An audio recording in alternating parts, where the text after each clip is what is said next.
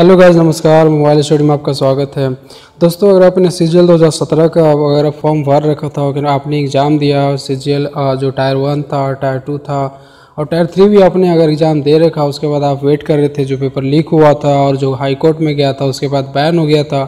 And now totally जो आपका supreme court का जो अभी डिसीज़न आया है कि जो रिज़ल्ट है टायर थ्री का वो आप आउट करना पड़ेगा सीजीएल का मतलब आउट करने का आदेश मिला है। आ, सुप्रीम कोर्ट की तरफ़ से कि सी जी वहाँ पर जो एस एस स्टाफ सिलेक्शन की जो कमीशन है उसको ऑर्डर मिला है कि वहाँ C G three tier three का जो एग्ज़ाम हुआ था उसका रिज़ल्ट आउट करे बिना कोई देर किए या डिले किए ओके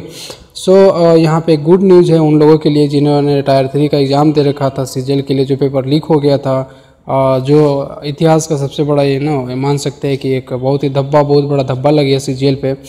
स्टाफ सिलेक्शन कमीशन पे एक पेपर लीक हुआ था उसका डायरेक्टली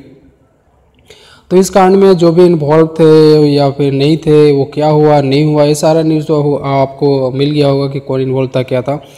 एंड जो फाइनली जो स्टाफ सिलेक्शन को यहाँ पे जो न्यूज़ मतलब आदेश मिला है उसको राइट कि यहाँ पे आप रिज़ल्ट रिलीज़ कीजिए। तो मेरे ख्याल से जो एसएससी का स्टाफ सिलेक्शन का जो ऑफिशियल साइट है, उस पर जल्द ही इसका रिज़ल्ट आ जाएगा टायर थ्री का। उसके बाद जो नेक्स्ट प्रोसेस है टायर फोर एग्जामिनेशन का, और उसके बाद डॉक्यूमेंट वेरिफिकेशन का, जल्द ही आपको यहाँ न्यूज़ मिल जाएगा तो उसका इंतज़ार करने की ज़रूरत है थोड़ा सा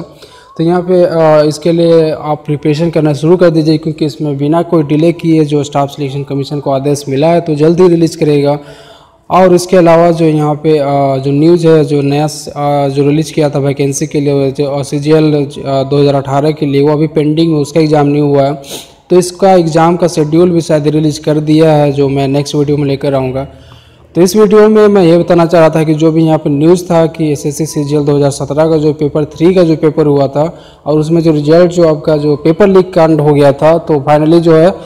यहाँ पे आदेश मिल चुका है एसएससी को कि अपना जो रिज़ल्ट है वो रिलीज़ कर रहे हैं, उसमें कोई और डिले ना करे ताकि जो कैंडिडेट है जो वेट कर रहे हैं। राइट 2017 से लेकर जो भी तक वेट कर रहे हैं कि मेरा उसमें होगा या नहीं होगा या क्या हुआ, नहीं हुआ।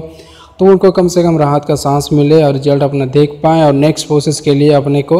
आ, मतलब एक तरह से ढाल सके और प्रिपरेशन कर सके जो नेक्स्ट टायर फोर के एग्जामिनेशन है उसके बाद डॉक्यूमेंट वेरिफिकेशन है जो भी प्रोसेस है उसके लिए अपने आप को प्रिपरेशन या प्रिपेयर कर सके।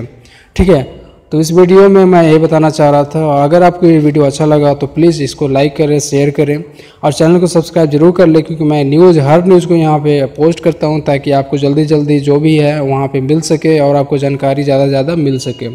ठीक है तो इस वीडियो में इतना ही, तब तक के लिए जाएँ, जय भारत।